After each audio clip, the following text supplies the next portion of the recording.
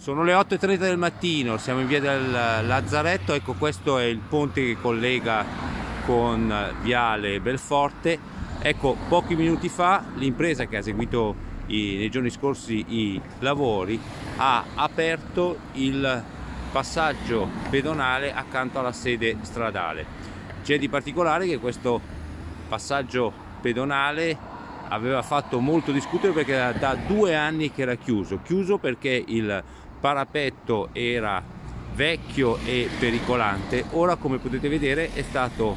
sistemato il nuovo parapetto che verrà poi eh, verniciato per dargli il colore del parapetto sull'altro